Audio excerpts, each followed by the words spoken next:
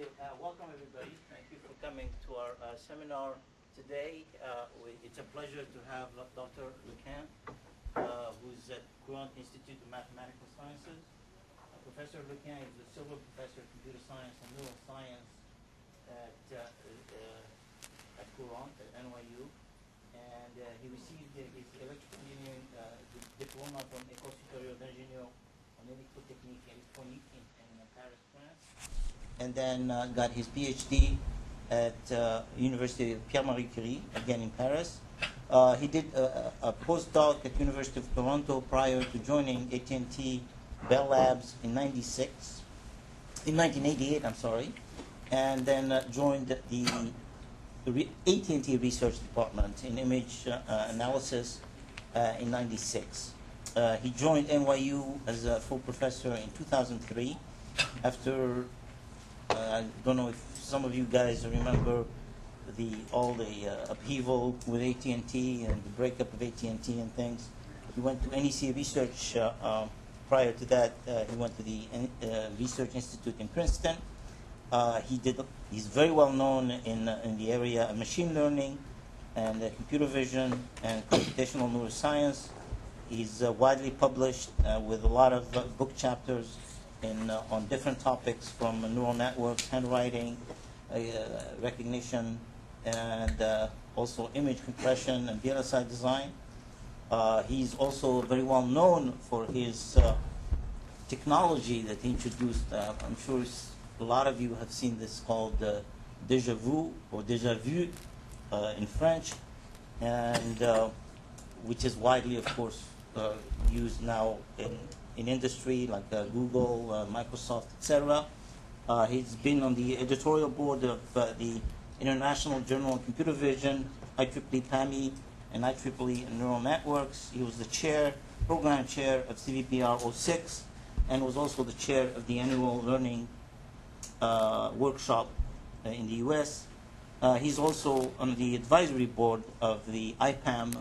I'm sure some of you know the Institute of Pure and Applied Math at UCLA, which is, of course, uh, sort of prides itself in being at the interface of uh, mathematics and engineering.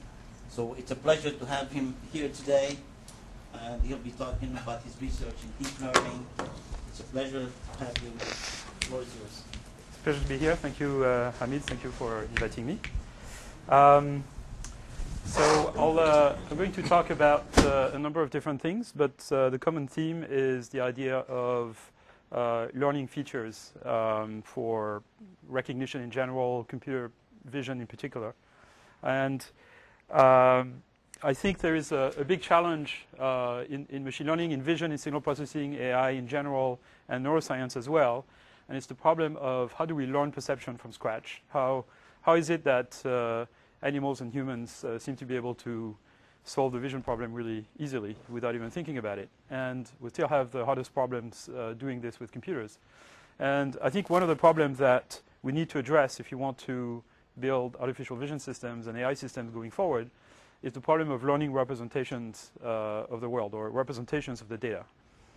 And it's a problem that the machine learning community has been mostly ignoring, um, at least until very recently. Uh, it's, um, uh, machine learning has been concentrating on doing things like learning classifiers um, and assuming that the representation of the world, the feature vectors, uh, were somehow given, um, uh, usually as a result of kind of uh, expensive uh, human labor or engineering. Um, but with good representations, there's a lot of things we can do, and if we can learn them from data, it would be uh, most useful. It would kind of generalize the applicability of a lot of machine learning techniques to a lot of situations where we just don't have the, um, you know, the, the, human power to kind of uh, figure out how to formulate formulate the problem in the in the uh, appropriate way. There's also another question, which is kind of uh, secondary interest of mine, uh, which is, you know, understanding how biological perception uh, works, understanding how the brain works, essentially, or, how, or, you know, what's the learning algorithm of the of the cortex? Perhaps that's a simple question. And so that's what deep learning is about. It's about the, the problem not just of, of learning a, a classifier, which you could think of as the last stage of a recognition system, but it's the problem of learning the entire process from raw input to, uh, to categories. So that's kind of the, the standard architecture that um, of, of, of most pattern recognition systems, and that includes computer vision systems, where you have an input, you have some sort of module that uh, turns this into uh, a set of features or representations appropriate for, for classification, and then you plug your favorite learning algorithm on top, uh, you know, logistic regression, support vector machines, neural nets, whatever you want. Um, and all the work goes into this, uh, unfortunately. Uh, in fact, that picture is a little kind of dated. Uh, really what people do nowadays is more like this, uh, at least for things like computer vision and speech recognition. There are generally two stages of, of feature extraction, one of which is completely engineered. Um, in the case of speech, it would be things like uh, scale uh, correlation coefficient. In the case of images, it would be feature, feature sets like SIFT and HOG. So those are engineered by hand. And then the second stage very often uh, refines this representation in, in, into kind of a slightly higher level, uh, higher level one. And that usually exploits some form of learning, but it's unsupervised. So it doesn't use the, the labels from, from the data set, only the inputs. Uh, it uses techniques like k-means and sparse coding and things of that type. And then the classifier comes. So that's kind of the more modern view of uh, standard mainstream approaches to uh, uh approach to uh, uh, pattern recognition and computer vision. but basically what we'd like to do is replace this model by one a little bit more like this, where we have kind of a succession of modules, each of which transforms the representation into a slightly higher level one with more invariance to the things that are the, the, to the variability of the inputs that are irrelevant, uh, more sensitivity to the things that are relevant for the task. Um, and, um, and we'd like to make each of those modules uh, trainable somehow so that they can tune themselves to the task at hand. And if you look at, uh, if you try to get some inspiration from sort of weak, loose inspiration from biology, it's very much the way biology seems to, do, to be doing things. So this is a picture from uh, a, uh, a, neuroscientist uh, in France called Simon Thorpe. And um, I mean, you know, he's not the only one to adver to advertise this. His his uh, uh, his picture actually is uh, really the indication of the, the timing here of, of how recognition takes place in the in the in the cortex. So images form on the retina, and they get propagated to a series of uh, uh, neural modules. If you want to think of them this way, there are areas in the visual in the cortex. Uh, this is called the ventral pathway, and they they're called you know V1, V2, V4, and then the inferotemporal cortex. And so this sort of extract edges and this sort of assembles them into little uh, motifs and this sort of detects kind of slightly larger motifs and, and, and this encodes object categories pretty much, okay, but still in the, in the visual form. And the whole process of recognition here is extremely fast. It takes less than 100 milliseconds. When you know how much delay there is in a neuron, you realize that there can't be that much of a complicated process going on there because there is barely enough time for you know a few spikes of the neural signal to propagate through the entire thing in 100 milliseconds.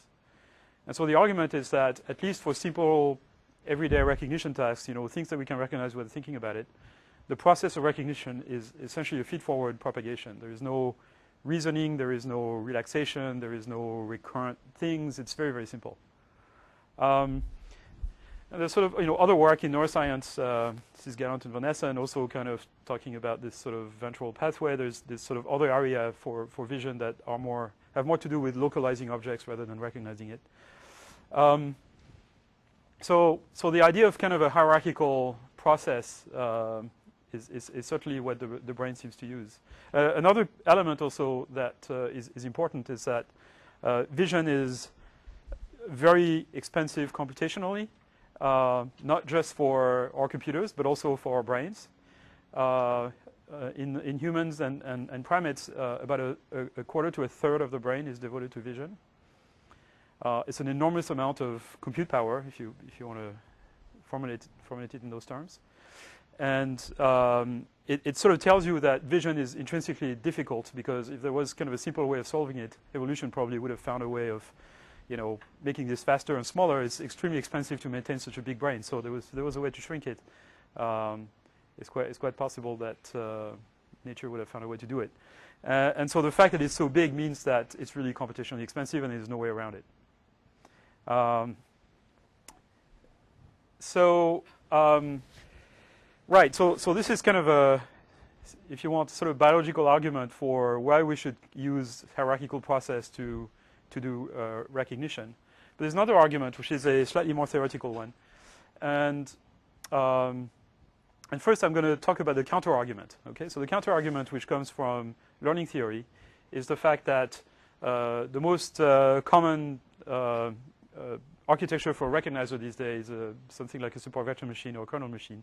A kernel machine represents a decision about, about an object X as a weighted sum of the application of a kernel function which essentially measures the similarity or dissimilarity between the input vector and each of the training samples in, the, in a training set, right? So you figure out, you know, um, how similar is X to all of the training samples with some sort of measure of some kind, do a weighted sum of that, which you train, and that gives you the, the category of the object. So it's kind of uh, you know glorified template matching.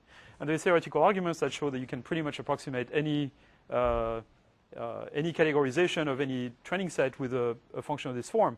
So you know if you don't dig into this, you say, well, why do you need anything else? Uh, that seems to be just fine. The problem, of course, is that you can you could have a very very very large number of uh, terms in that sum. Um, so you know it's common to have uh, data sets now with millions of uh, training samples, and it's completely impractical to compare images, millions of images like this. Um, you end up with um, uh, okay. That, so that's one problem. The second problem is who is going to give you the kernel function that allows you to compare images in, in a way that makes sense? And we don't have it. I mean, we have to go back to extracting features and then uh, doing things like that. So this doesn't solve the problem. Um, now, why is it that uh, something like you know uh, uh, kind of a sequential process would would solve that problem, where you have sort of trainable parameters? So here I kind of symbolize this by you know what could be thought of as a multilayer neural net or some version of this. I'm not specifying what the f function is, but you know take an input vector, multiply it by some matrix, apply some nonlinear some nonlinear function to it, and then repeat the process uh, k times. Um, so you have, you know, a number of nonlinear, nonlinear steps and a number of linear transformations in between. Yes? About the two problems. Uh-huh. Uh, the other problem which I, I commonly encounter in machine learning, I want your opinion on how, how big a problem that is. About, so using these similarity functions, we are trying to divide the space into these different uh, groups and use that to classify, right? So there's another problem that how good are the training samples in dividing that space.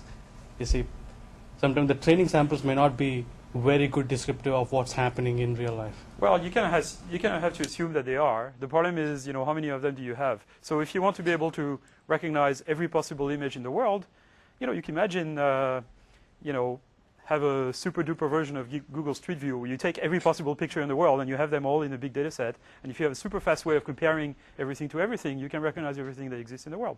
Of course, it's completely impractical. Uh, but, you know, it's possible in principle.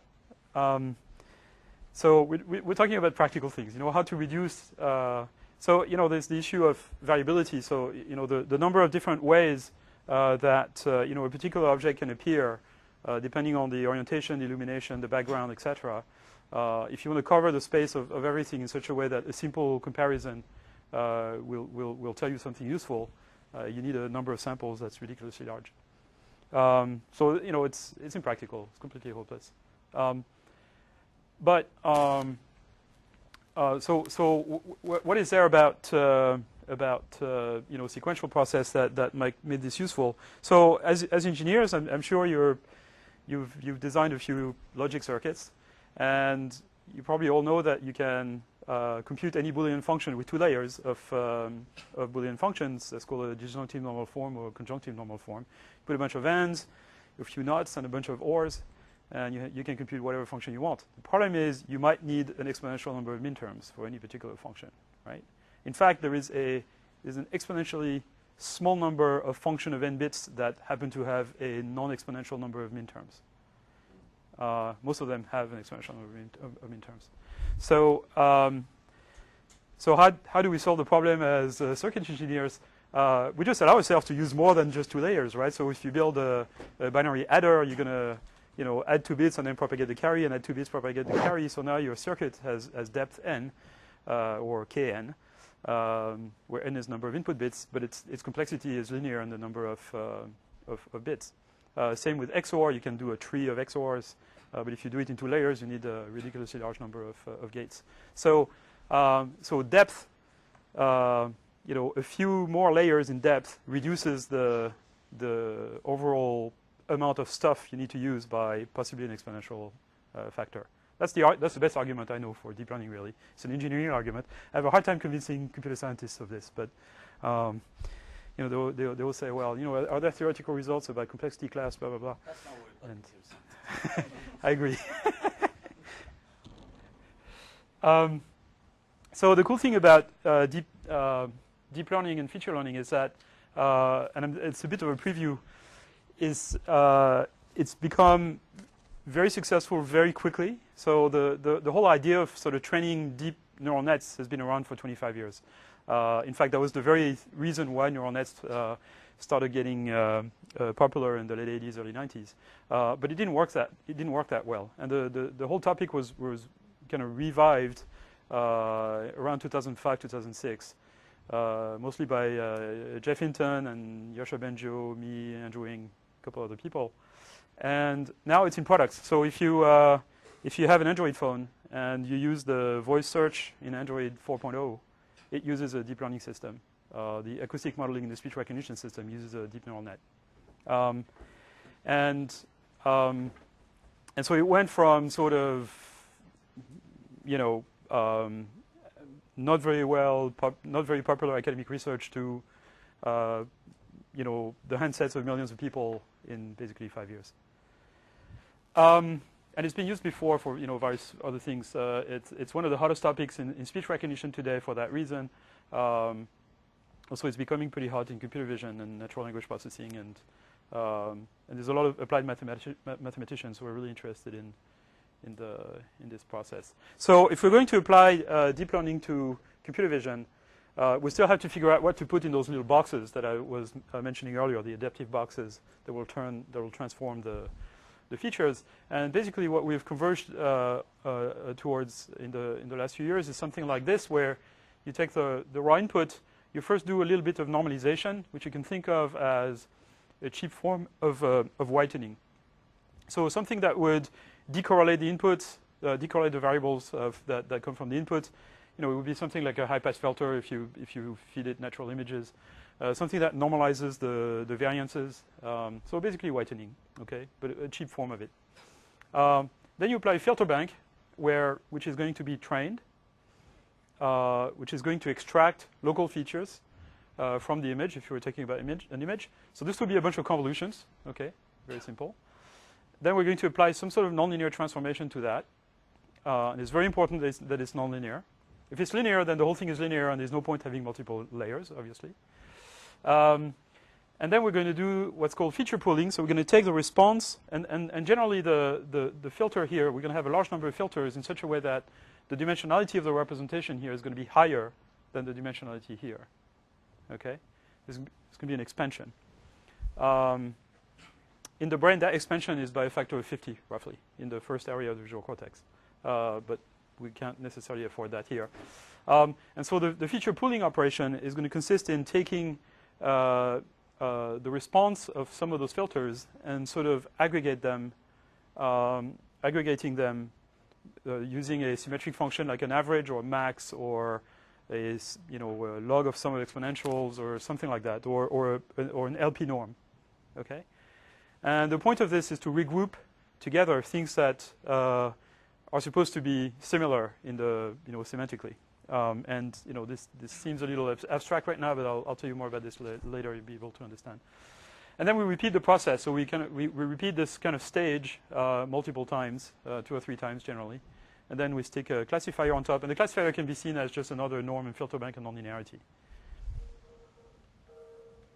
Um, so uh, so if, if you look at the, the classical way of doing, or the, the mainstream way of doing computer vision, it actually conforms to that model as well. So the SIFT or Hog feature extractor actually does exactly this kind of series of operations, except that the filters are designed by hand. Uh, here we're going to learn them. Um, And so the first attempts at, at doing things like this for, for object recognition uh, using an unsupervised learning setting were uh, due to Fukushima in the 70s and 80s. And I started working with models like this in the uh, early, uh, late 80s when I uh, was at Bell Labs. Um, and there's kind of a whole bunch of people who have kind of embarked on, the, on this kind of model more recently. Um, we call this a convolutional net for obvious reasons because the filters are convolutional. So uh, that's a representation of it here where we start with the input image. We do this normalization step that I was telling you about, high pass filtering, contrast normalization. Um, and then we apply a bunch of filters to it so we get the response of each filter as a plane. We call each of the plane a feature map. Uh, and then pass through the nonlinearity. And then the pooling operation takes a little patch of features uh, in, in one feature map or sometimes in multiple feature maps, and then computes the average or the square root of some square or something like that of those values, and we subsample that. So we decimate that so that uh, we get a lower dimensional representation, um, I mean a lower resolution representation here than we had here. And that actually is originally inspired by biology. You can connect this with classical work in biology by uh, Hubel and Wiesel from the early 60s and late 50s, where they explain the architecture of the visual cortex in terms of what they call simple cells and complex cells. And simple cells are neurons that react to a local neighborhood on the input, which looks very much like a, you know, the, the little convolution kernel, if you want. Uh, generally, they react to uh, um, oriented uh, edges. And then the complex cells integrate the response of those filters over a small area so that you get a bit of an invariance with respect to shift. Um, so in fact, that's another example of one of those convolutional nets. Um, but that's a slightly more interesting version of it. So this is a, an old one that I, I trained, uh, you know, this is, this is back from the early 90s. Uh, yeah, early 90s. And, and so this, uh, this uh, convolutional net here looks at a, a handwritten digit. And the reason I'm showing this to you is, uh, is, is, twofold. The first is to show you the response of, of those filters, which are all trained. I'll tell you in a minute how it's trained. Um, and uh, the result of the uh, pooling and subsampling, there's also nonlinearity here. Um, and then we repeat the process. So each of these guys actually combines the response of the filters from multiple maps. So it applies filters to multiple maps. They're all added together and then passed through nonlinearity. And each of those guys combines a different subset of those uh, maps in the previous layer. So those are kind of sort of high level, more abstract, more global features, subsampling and pooling again.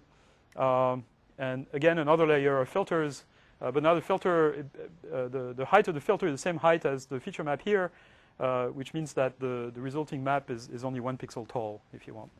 Um, and so if you take one slice, one vertical slice of values here, it represents, it encodes as a feature vector the content of a 32 by 32 window on the input.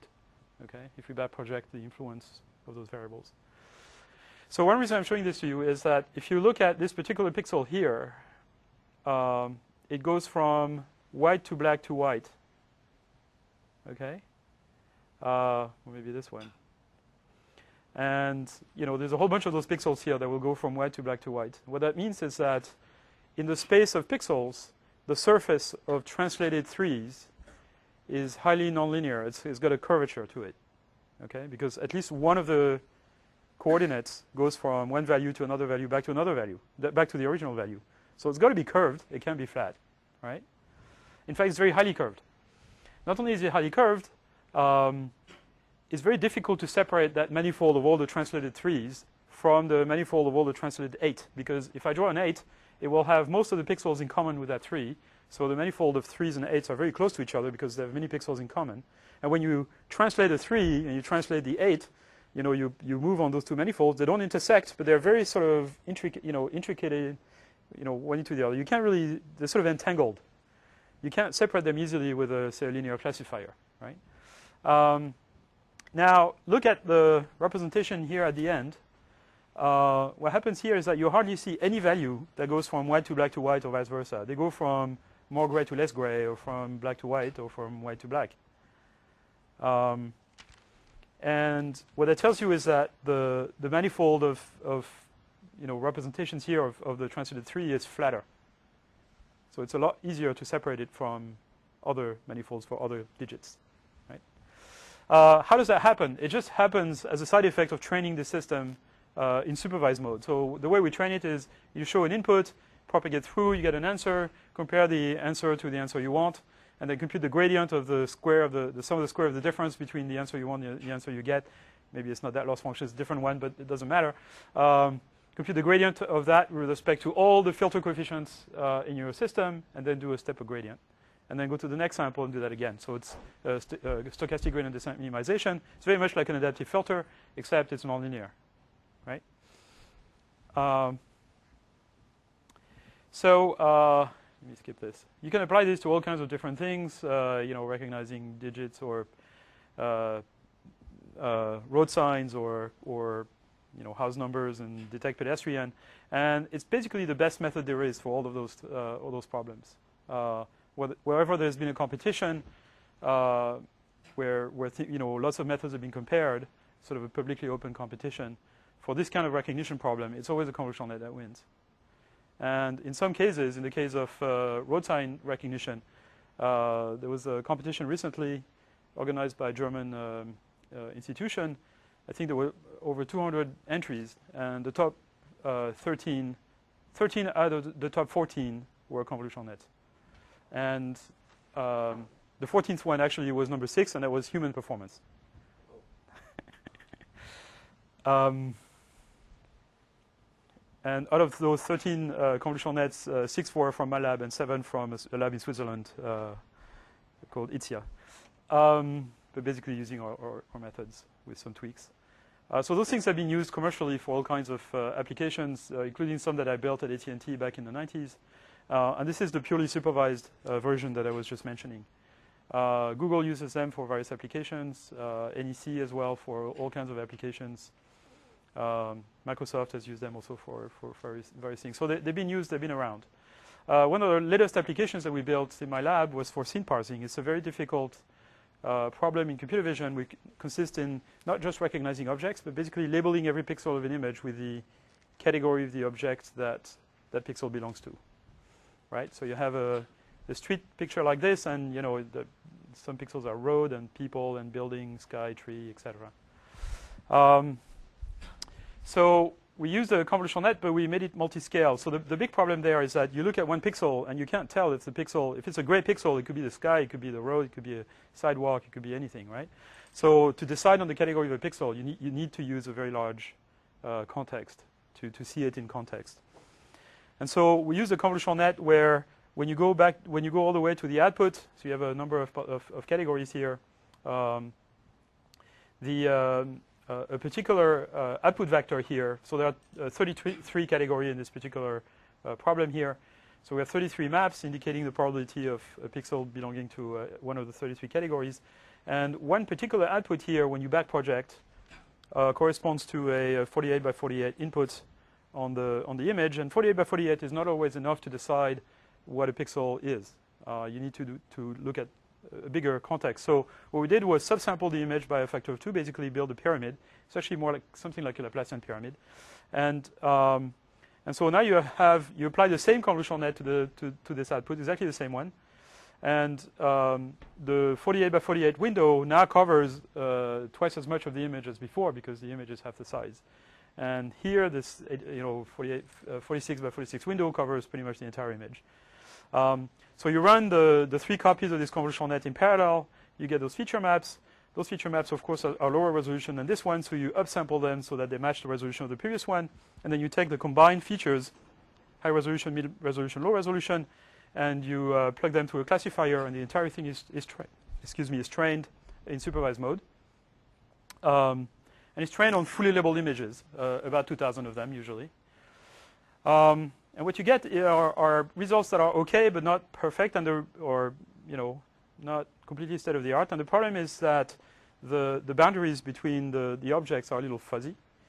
Um, so we play a trick, and it's a very simple trick, uh, which a lot of people working on this kind of problem uh, use in a different way. And so we, we do what's called a superpixel segmentation, so using kind of graph uh, uh, partitioning uh, uh, algorithms. We find kind of little regions that are likely to contain similar pixels.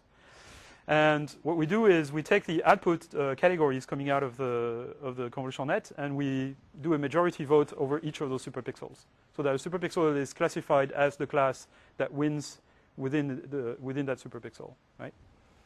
And that sort of cleans out the boundaries. So instead of having fuzzy boundaries that are not lined up, uh, we get uh, clean ones. Um, we have another technique to, to do this, which I'm not going to go into. Um, and the cool thing is that it pretty much beats the record on every data set that we've tried. Um, so this is the multi-scale plus superpixel technique. This is a multi-scale net plus other techniques to kind of refine the, the, the boundary. And uh, the best published result is, uh, is this in terms of pixel accuracy, which counts how many pixels are correct.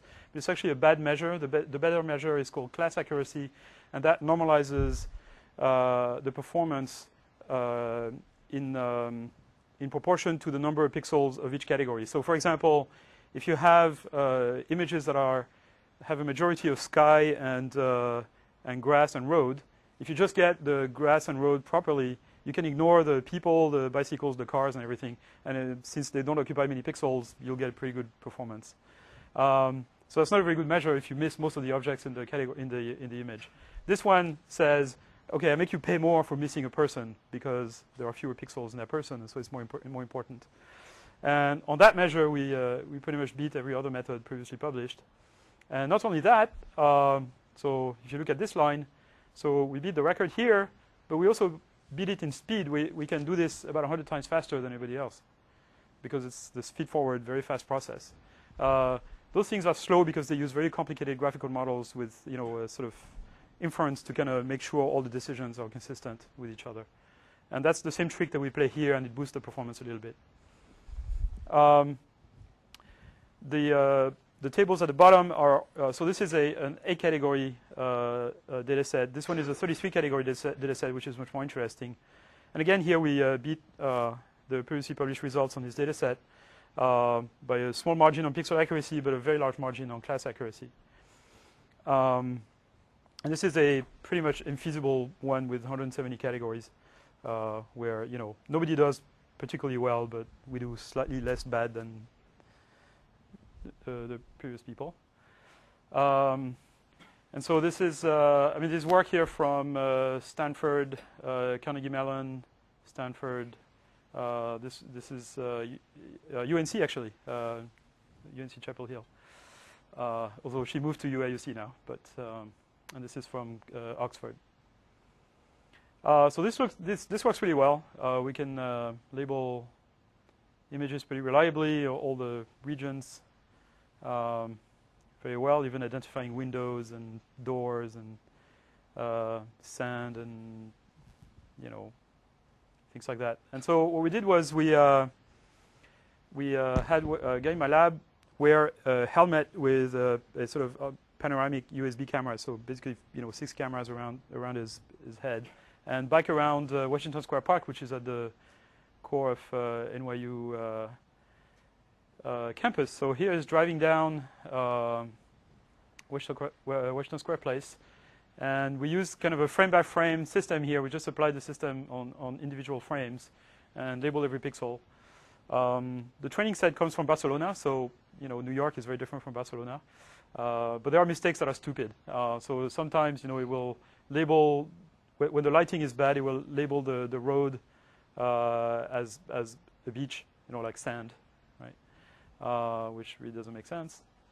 Um, and so, you know, it's not using any kind of global contextual information as to the fact that this is street view and you can't have sand.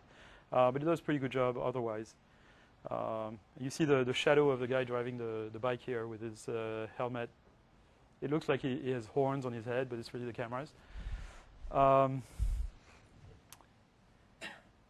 and uh, and so you know it gets the sky and the buildings and the trees and um, no, it thinks this is a car, which is obviously not the case. Uh, grabs the people. So there's lots of applications of things like this if we can make this work uh, well uh, and in real time, particularly for things like you know drivers, uh, driving assistance for cars and things like this.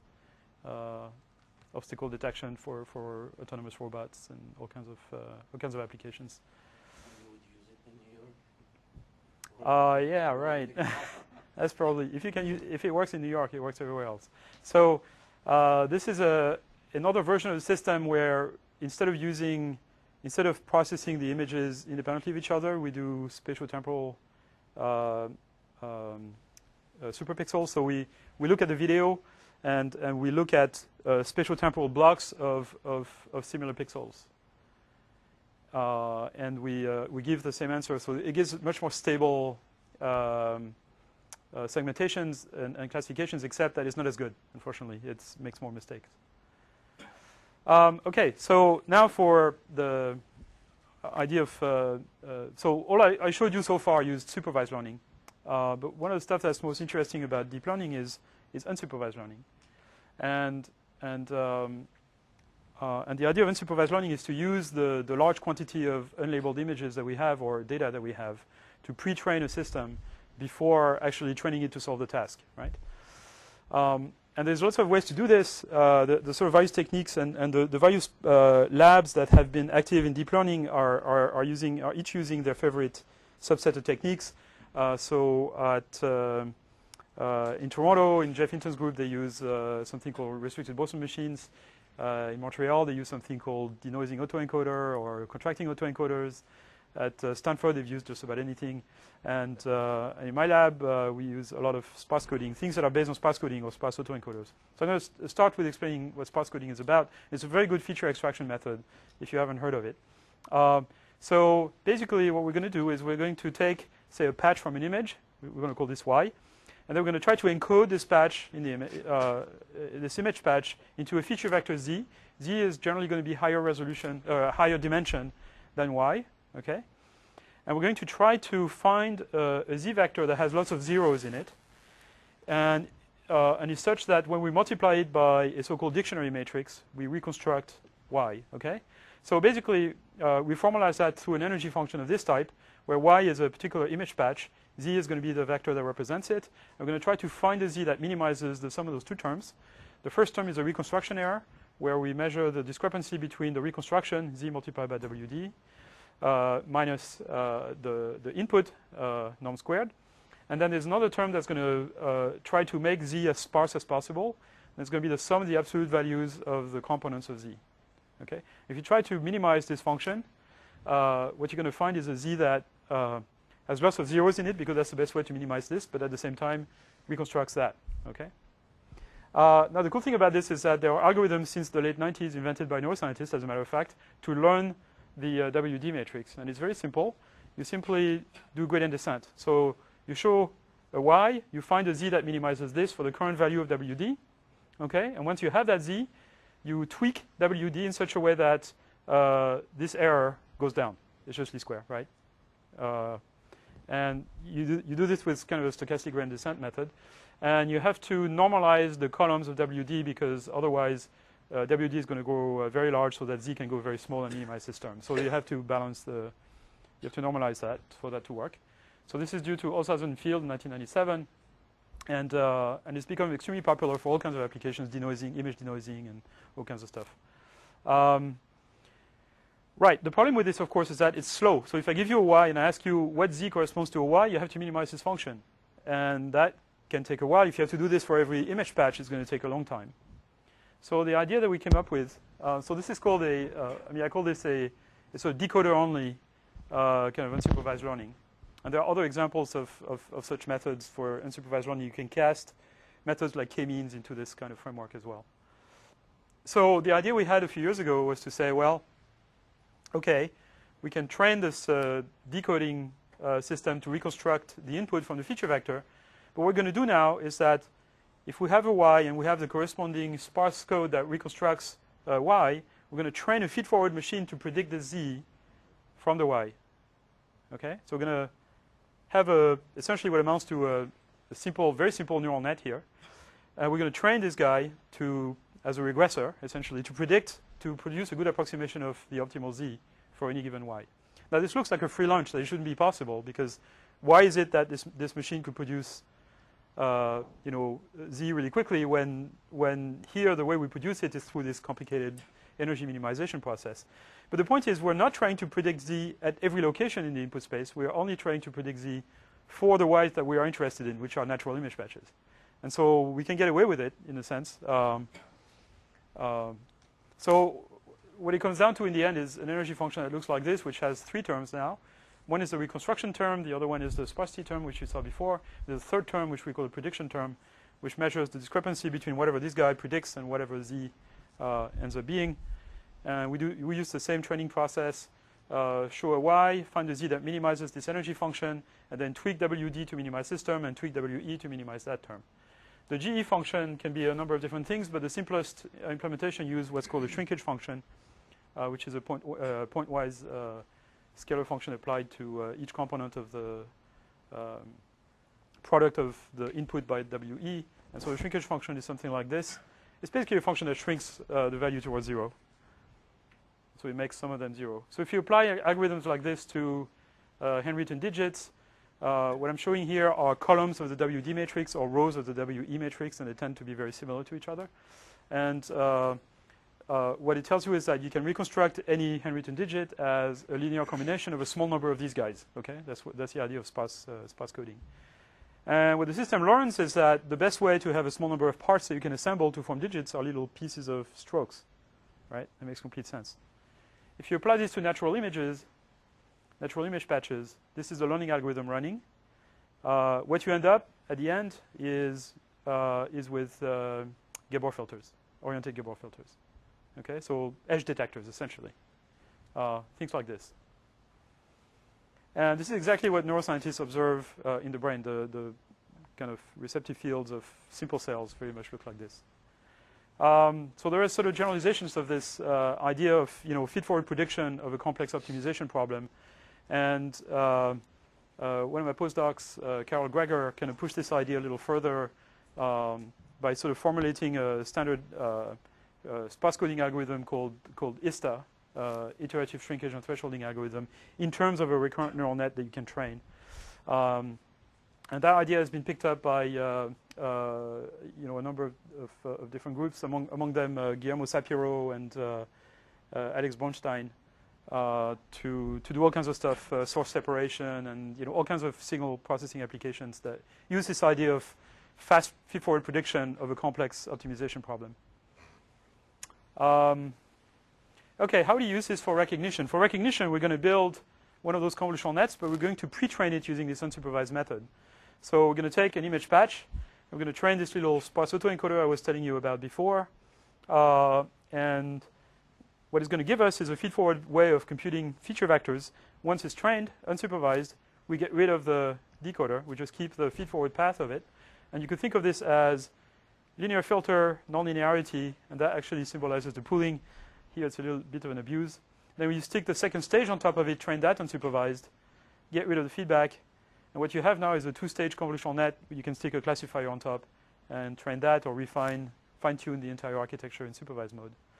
And so if you do this and you apply this to kind of small data sets like Caltech 101 or things like this, it works pretty well. It's not record-breaking, but it works pretty well.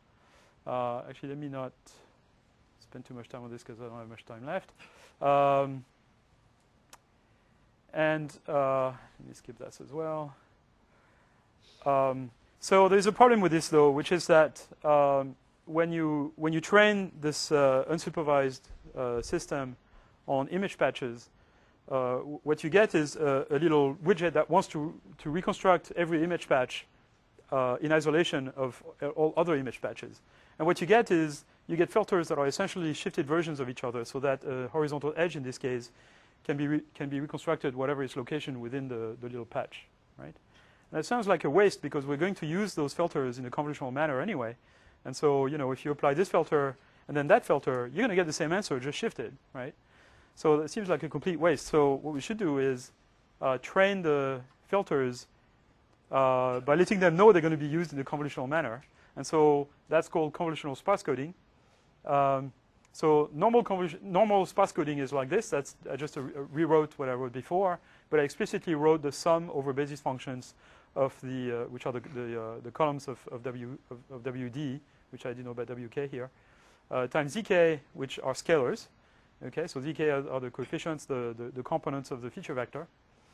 Um, so now I'm going to rewrite this, but instead of ZK being a scalar, now it's an image, and instead of a multiplication of a scalar by a vector here, it's going to be a convolution of an image by a kernel. Okay? So it looks kind of like this. So the ZKs are images, or they are really feature maps. I'm going to convolve each of these feature maps by a little by, by a kernel. Uh, I'm going to sum up the results, and that's going to be my reconstruction.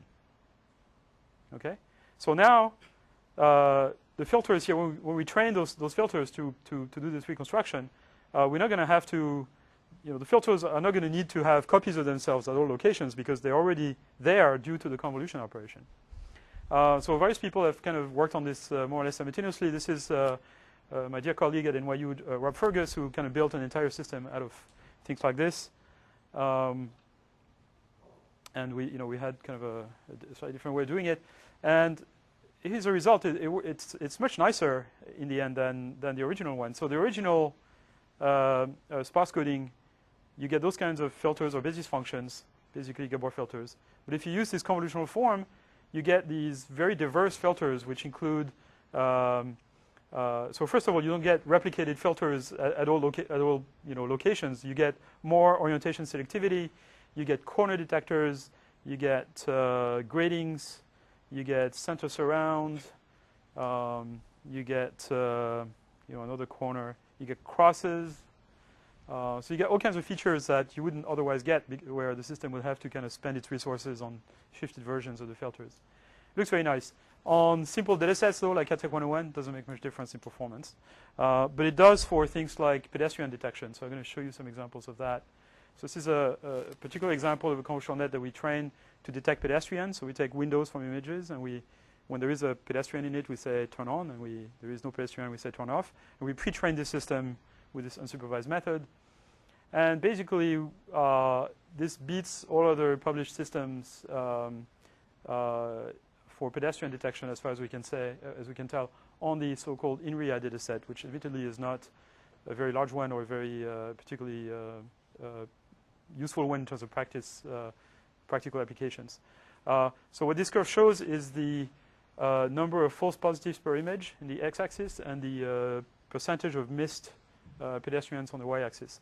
And so this is for one false positive per image, and our system misses about 6.8% and the other ones are worse. You know, so the, the, ideal system would be kind of down here. It's it's a, it's like a precision recall curve. It's not quite an RC curve. It's the normalization is different, but it's similar.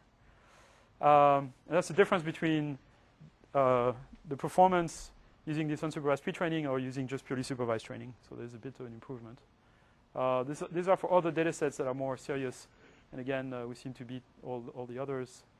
Uh, this, so the, the dark blue line is, is our system right here. Um, and that's a little video of uh, the system uh, in action. Uh, so this is, again, uh, Washington Square uh, Park in the middle of NYU.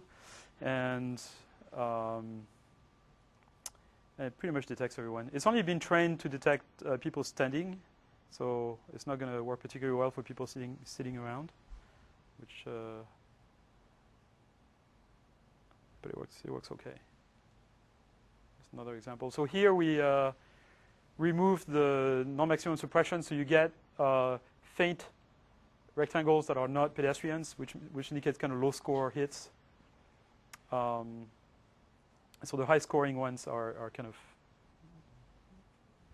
more visible just to show the hypotheses that are being considered by the system. Um, and so the cool thing about learning features is that you can use exactly the same architecture, apply it to other kinds of data, like say music. So in our case, so it's the same algorithm we used. Uh, you take a, what's called a constant Q transform. I don't know if you guys, you guys are engineers. You should, maybe you probably know about this. Constant Q transform. So it's kind of like an FFT, but the uh, you know, the, I mean, it's kind of, it's like, like a filter bank where the, the, the bandwidth of each filter grows geometrically with its central frequency. So you get a constant number of, of, of filter bands per octave, okay? And so here we have, uh, uh, was that 48 uh, or 24? I think 24 bands per octave. Uh, so two per half tone, essentially. Um, and we span four octaves. And so we get uh, so this is time going this way and frequency going that way, log, or log frequency, I should say. And, um, and then we do uh, some sort of contrastive uh, contrast normalization, uh, high pass filtering, and, uh, high and you know, contrast uh, gain control, basically local gain control. And then we we apply this uh, this convolutional net to it uh, using the unsupervised pre-training um, with sparse coding. And what we get is, is, is funny. We get filters or basis functions that end up being uh, chord detectors. So this is kind of a so so uh, a filter here is going to be uh, essentially a function that looks at a slice, you know, a frequency slice, so one time slice of this, and it's going to have high coefficients in certain places, low coefficients in other places. And we have two versions: one that looks at a single uh, octaves and one that looks at the entire uh, frequency uh, spectrum. And for single octave ones, you can look at the high coefficients, and they basically line up on, on chords that are frequent in, in, in the music that we are considering. So minor third, perfect fourth, perfect fifth, quarter chord, etc. Um, and you apply this to one of the standard data sets, which is actually a, a little, a, a bit small. It's kind of being phased out for a new one, but for copyright issue, it's very difficult to put your hands on uh, music data sets. Um, and this is our system. It pretty much matches the state of the art, which is that. Those two you should ignore. Uh, there were major uh, uh, methodological issues with those two papers. Basically, they trained on the test set. So, um, so those, those results are not to be believed. Um, uh, but I was told that after making the slide. So I keep them on because there's always a doubt that you know it's kosher, but I've been told that it's really not. And so it pretty much matched the, the, the, best system, which also uses deep learning, by the way, but a different technique for unsupervised pre-training. Um, let me skip this. Um, so the sort of different versions of this uh, sparse, sparse autoencoder method, some of which use what's called uh, group sparsity. And I'm not going to go into the details of this, but it allows us to essentially um, uh, train locally invariant features together with a pooling operation. And I don't have time to go into the details. I just want to go into a little bit of uh, history here because this algorithm was used. I don't know if you guys have seen uh, back in July, there was an article that made the first page of the business section of the New York Times that Google had trained a very large neural network on a very, very large network of, uh, of machines, of computers with you know 16,000 CPUs or something like this. And they trained a, a, a neural net on YouTube videos, and the stuff spontaneously kind of came up with cat detectors because there's so many cats in YouTube videos, you know. Uh, and so there was a picture in the New York Times of, you know, some sort of faint cat, uh, which is a reconstruction of this unsupervised coding. And so what they use is basically this group sparsity uh, sparse autoencoder. They, they give it a different name. Uh, this, this comes out of Andrew Ng's lab at Stanford. They call it RICA, but it's the, the same uh, the same the same algorithm essentially. This this idea of group group sparsity unsupervised learning, and they use a convolutional net-like architecture, except that they don't they don't share the weights uh, across location. Uh, the cool thing you, you do you, you can get out of those algorithms is uh, you can, um, they kind of spontaneously organize the features in topographic maps that kind of slowly vary, and so these are the groups over which we, we do group sparsity, and what this group sparsity uh, criterion leads to is that it tends to uh, regroup filters that are similar, that tend to fire together uh, into the groups. So here we arranged the, the, the, the feature vector into uh, a 2D array, a 2D topology, and the groups are just uh, local 2D 6 by 6 um, uh, groups uh, of, of, of, features in this, in fact, it's a, it's a torus. Um, and they overlap by, by three, three row or three columns. Um, and so when we train the system, what happens is that the system tries to minimize the number of groups that are active at any one time. That's the sparsity uh, criterion. And the best way it can do this is by regrouping within a single group all the filters that tend to fire together. And so it tends to regroup similar filters within groups. And because it has this toroidal uh, uh, topology, it, it, it, builds those kind of beautiful topographic maps. Uh, it's not very interesting for the point of view of, of, recognition, but it turns out if you poke electrodes in the brain of, of uh, of, of animals, and you look at how the orientation selectivity varies as you move the needle, it looks very much like that. In fact, it looks more like, like that. Uh, that's a slightly different form of the algorithm. Um, and so this, this is out of the neuroscience paper where the color encodes the orientation selectivity. And this is the same encoding out of our algorithm. Uh, looks very similar, qualitatively at least. Um, Yeah, it's just a plug. It's a free advertising for uh, Stéphane Mallat's work on the scattering transform, which basically is a very interesting theoretical work that analyzes the mathematical properties of architectures that look very much like convolutional nets that I talked about, although they're kind of a, a bit of a special architecture. Uh, but I think it's very interesting work if you are mathematically inclined. I highly recommend that you look at this. It's very interesting for analyzing signals of various kinds um, while preserving the kind of local structure of, uh, of, of, them. Uh, it works very well for things like, uh, like texture recognition, for example.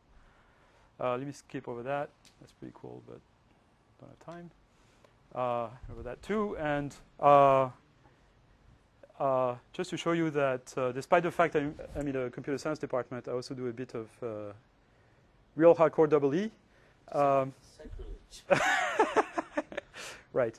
I actually have an affiliation with the uh, ECE department at Poly, but um, but that's very recent.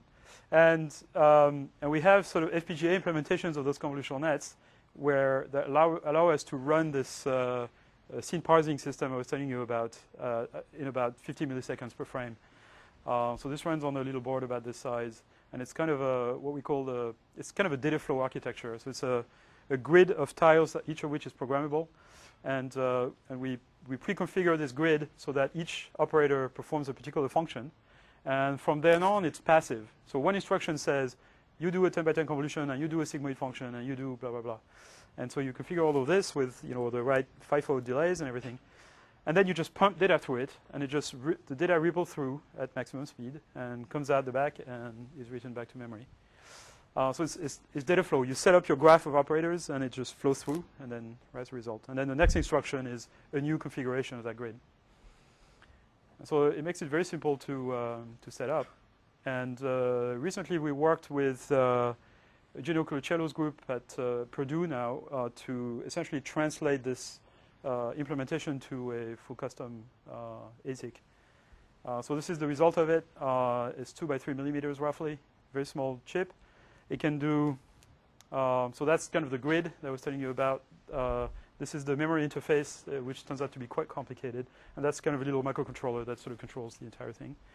Um, and the performance is on the order of, so this is the FPGA implementation, about 160 uh, billion operations per second uh, uh, peak. Um, or actually in practice, in real application, it's, it's, it's roughly, it's pretty much saturated. Uh, it, it, eats about 10 watts. Uh, the cheap version, we haven't gotten the samples back yet, but uh, we're uh, predicting that would be about half a watt, a little more than half a watt. So this is down to the regime where you could have this in your cell phone and do real-time vision in your cell phone. Um, and th this compares with other kind of implementations using various uh, GPUs and whatever, um, which of course we beat in terms of power. Um, we're developing software tools, something called Torch 7, which I'm not going to go into, other than just tell you what the website is. Uh, this is kind of a MATLAB-like thing for uh, experimentation machine learning. And that's my team. And I'd like to conclude with a little bit of entertainment. The first one being a little demo of a object recognition system. So I have a uh, camera here, webcam, and I can point that webcam on about anything and uh, hit a key to tell it to recognize it. So let's see. Well, here's the mouse, right? So I point it to the mouse, and I hit the M key three times. So the, the number in the square parenthesis is the number of times I hit the M key. So I've, I've stored three templates of the mouse here. So if I point the camera someplace else, it doesn't say mouse. If I come back to the mouse, hopefully it'll say mouse. Okay, so what this is is a convolutional net of the type, the type that I showed you showed you earlier. Um, and what I, I, chopped off the classification layer. The classification layer now is basically a nearest neighbor classifier, right? So every time I hit a key, it stores a template, and it compares the uh, 256 dimensional feature vector coming out of the convolutional net to that template, and it outputs the category of the closest template. Uh, okay, so we had a mouse. Uh, that's a that's a cap from a bottle. I'm just going to say C, okay? for cap. Oh, X. Okay, sorry. I don't know. This is, this is going to be called X. I hit the wrong key. Uh, X. Where are you? No M? Hmm. Okay, here we go. Um, and let's see. This is uh, Hamid. Okay. Uh, and you guys don't look like Hamid. Uh, what's your name? Why? Okay. Yantin?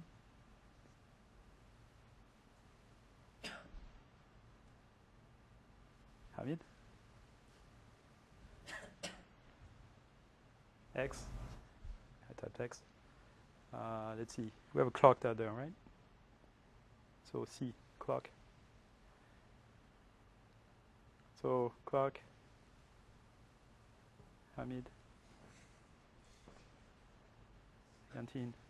You guys are in the back here. You guys are number one. And you are number two, three, four, five, six, seven, eight. Now I'm going to move the camera back. Eight, seven, six, five, four, three, two, uh, unknown, one. There's a, a few holes in the response, but uh, but basically you can use this as, as a way of for a robot, for example, to localize itself. Right? It will remember the gestalt of what it looks like, and you can kind of store this. And so you can train this to recognize, you know, a number of, of categories.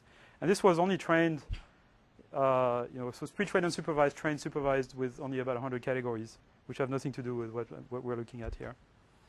Um, the last thing I want to show you uh, is a video.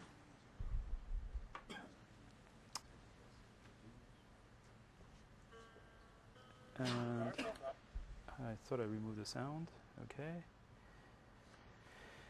So this is a, uh project uh, we worked on until about three years ago, three, four years ago, called the LAGR program, uh, uh, which means Learning Applied to Ground Robots. This is a, a DARPA-sponsored uh, program. And we were given those, those robots that we could not modify. We could not modify the hardware. We could only uh, program them. They had uh, four computers or three computers in the belly, uh, two uh, camera stereo pairs, and the system was supposed to be able to drive itself in nature purely from vision. So there's no active sensors, no, li- no LiDAR, no nothing like that. So here we just have a, a stereo vision-based uh, obstacle avoidance system, which works pretty well, but it has to get pretty close to an obstacle before it sees it, about 10 meters roughly. Uh, here it has to get even closer, but for other reason. And here we turn on a long-range vision system based on these convolutional nets, and it sees the wall from the start. So it, it can figure out from, from here uh, that this is not something it can drive through and it gets around. So it's got a GPS coordinate that it, that it wants to go to. Here, same thing. It figures out that it has to go around this row of people. This guy is holding a RC transmitter, but is not actually driving the robot. He's holding the kill switch. Um, and so this, so it's one of those convolutional nets that looks at bands of images, uh, kind of so that they're flat on the horizon. And the cool thing is that it trains itself as it goes. So we don't have to. I mean, we pre-train it in the lab, but it, but it, it pretty much trains itself. Um, and so what we get is we get uh, labels from stereo vision. So stereo vision can tell us if something is flat or if it sticks out. You know, from 3D reconstruction, we can tell. So uh, we generate labels of the image from that. They, they stop at about 10 meters, so can, it can't tell us that we can go through this little passage between the two, uh, the two uh, hedges here. Um, but we can use this as labels to train our system to discriminate between what is traversable and what is not traversable. And the system, the system trains itself as it goes. Um, and so uh, we apply the, the convolutional net, which is monocular, to the entire image, and it labels the entire image with uh, whether something is traversable or not. And uh, it works pretty well. Um, the range is about 50 or 100 meters or so. It's limited by the, the map, really. So it can, you know, it sees the trees and the hedges and the pathway and, and everything. Um, and eventually that's put into a map and uh, which is centered on the robot, and we can do some planning in the map if we have a goal, uh, so that we avoid the obstacles and the unknown areas. Uh, the map is kind of centered. Uh, there's also uh, another uh, fast stereo vision-based system, which is designed to uh, react quickly to unexpected obstacles when you turn around. So this kind of three vision systems really. Um, and that's kind of the system uh, um, in action. There's a bit of uh, training going on in the control as well. Uh, I'm skipping this. So that's that's the learning that goes on in the in the control. The the sort of local uh, trajectories that the system decides to take to avoid nearby obstacles is is, is trained uh, with a catalog of trajectories. So this is that controlling system where we cripple the vision system so its range is only about two meters, two and a half meters. Uh, this is accelerated twice. Um, and so it can do a pretty good job at sort of navigating between uh, trash cans. And here's another example in sort of more natural environment. This is my former student Raia Hadsell, who is now working at SRI, and Pierre Sermanet, who's still a student with me, was a master student at the time. They're both pretty confident that the uh, robot is not going to break their legs because they actually wrote the code. Uh, so the, I, I, usually joke that this is the way I select my student. I get them to write uh, a piece of driving code for this, and if they survive, I keep them. Thank you.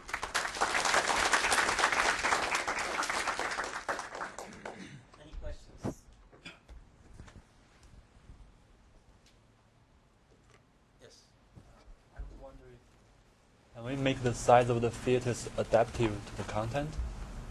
The size of the patches of the filters Uh, adaptive to the image content? right. So the simplest way to do this is to uh, is to just apply the the same system at multiple scales, which is essentially what we do in the scene parsing system, right? So you make a pyramid of images and then you apply to all, all scales. It's the way also the pedestrian detector works. So the pedestrian detector, you see it, it, it draws boxes of various sizes depending on the size of the pedestrian. But the way it actually works is that it's been trained with one scale, basically 80 pixels tall for a pedestrian. And then you, you take a pyramid of images and you apply the detector to all levels in the pyramid, and then you have a non-maximum suppression that chooses the, the scale at which the response is the, is the strongest, uh, and the location at which is the strongest, and, uh, and that's, that's when you draw a, a box.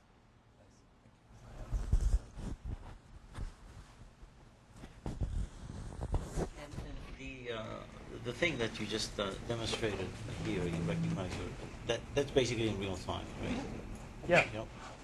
I mean, I can, um, I, I can make it slower by, uh, by applying it to a bigger image. So, uh,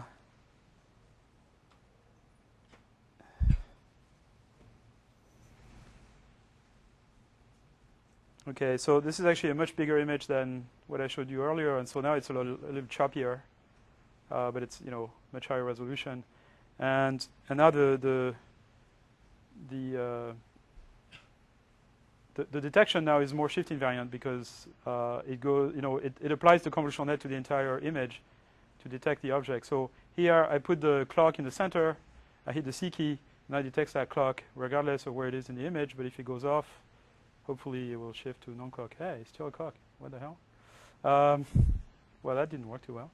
Uh, uh, well, maybe it's been a little too uh, not not not specific enough here for some reason. Yeah, it's just too much. too much background. Yeah, I gotta train it discriminatively if it's too big because then there are too many hits that are possible within the image. Um, This is in C, everything is in C. actually, this particular demo uh, uses our previous prototyping system called Lush, which actually is uh, Lisp. So there's uh, the low level is in C, and then the top level is in Lisp. Uh, and the low level uses, you know, it, do, it doesn't parallelize very aggressively. Uses OpenMP or something. Uh, so the, the new thing that I mentioned at the end, Torch, um, is is what, what is replacing our uh, Lisp-based system. Uh, so it's uh, basically a, a, numerical library and a tensor engine written in C uh, with backends for CUDA and for ARM CPUs if you want to run this on cell phones. Um, and for OpenMP if you have uh, multi-CPU machines.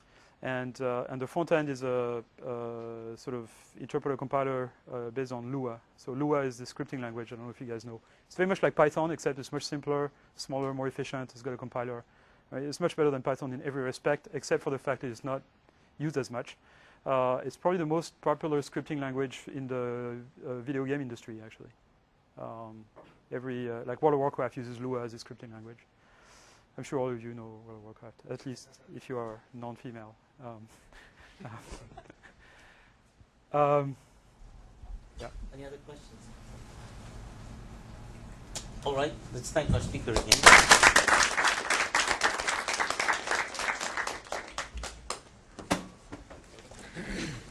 Sempre.